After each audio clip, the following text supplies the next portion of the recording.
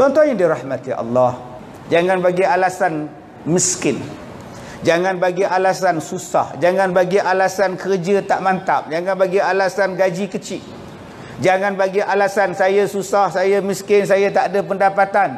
Allah sebut di sini, "Eh yakunu fuqara." Kalau mereka itu fakir, yughnihimullahu min fadlih. Allah Ta'ala akan memberikan kelebihan kepada dia. Allah Ta'ala akan mengkayakan dia. Allah Ta'ala akan berikan rezeki kepada dia. Daripada kelebihan-kelebihan kurniaan Allah. Wallahu wasi'un alim. Allah itu maha luas ilmu pengetahuannya.